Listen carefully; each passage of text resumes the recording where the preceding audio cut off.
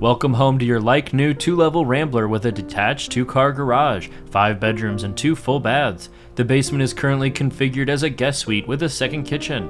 Major updates in the last few years include kitchen and bath remodels, as well as roof and HVAC. Two contiguous parcels give you a total acreage of approximately 0.67 acres and the opportunity for a large fenced in yard with a fire pit, sports area, and grill area. Jason Secrest would love to tell you more.